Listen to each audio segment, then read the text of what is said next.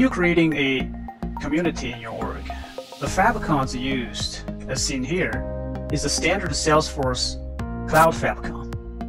You can replace it with your own so that you can keep a cohesive branding theme throughout your org. And let's see how this is done. The general steps are you need to first create the favicon file, which is an ICO formatted file, 16 by 16 pixels in size, and then place this file in the static resource section in your org. And then you need to add it to the community header file so that you can link use a REL attribute to link the favicon to the static file that in your org. Let's do it.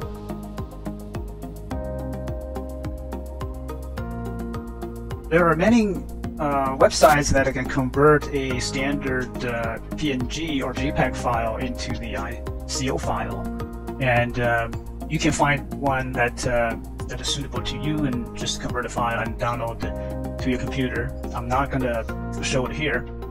Uh, let's go to the setup in your org, and then the next step is to place this file onto the resource section in your org. Let's go find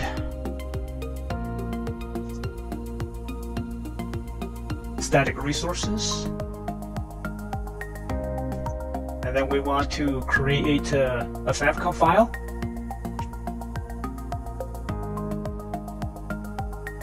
I have already done it, so let me just uh, show you how this uh, file is configured.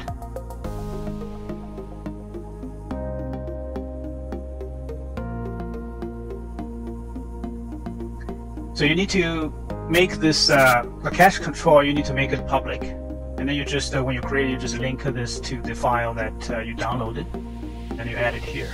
So once you create this file, and this file is available for you to use in your work. And the next step is to link this file to the uh, to your community. So in the setup page. Let's go to community. Let's go to all communities. And I pick the community I want to work on today, which is uh, Ursa Major. If you if you work on uh, Trailhead, you know this uh, community. And I'll go to administration and go to pages, click edit. It's here that you want to find the file that you just added. You just search for it, and uh, this is favicon file you just created. And then after you add it here, you click Save. Next, let's add it to the header file. And go to Settings, Advanced, Edit Head Markup, it is here that uh, you input uh, this code. I filled out the, uh, the URL on a separate notepad. So I just copy and paste it here. So this is how the code looks like. And you want to have a href attribute here. Uh, basically, this is the link of your favicon file.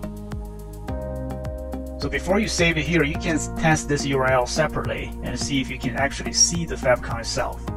If it does, that means it's a valid link, and you just paste the link here. And then you click Save.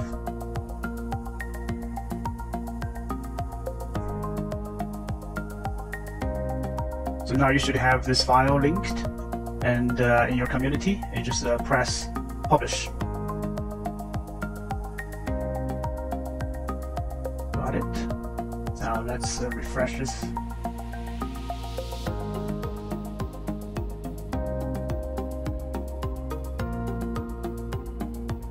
See, as you can see, the favicon here has changed from a standard Salesforce Cloud favicon to the one of your own. I hope this is helpful. Thank you for watching.